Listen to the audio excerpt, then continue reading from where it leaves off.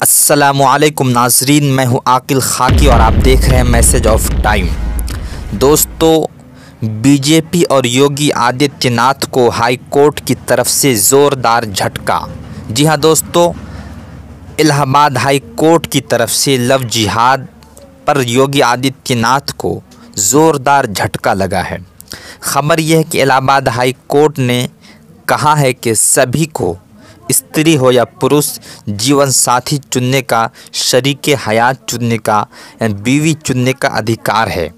और सरकार इसमें कोई दखल अंदाजी नहीं कर सकती। जी हाँ दोस्तों, असल ख़बर यह है कि कुश्ती नगर के रहने वाले सलामत अंसारी और प्रियंका खरवार मामले की सुनवाई करते हुए इलाहाबाद हाई कोर्ट ने कहा है कि कानून एक बालिग स्त्री या पुरुष, मर्द या औरत को अपना जीवन साथी चुनने का अधिकार देता है।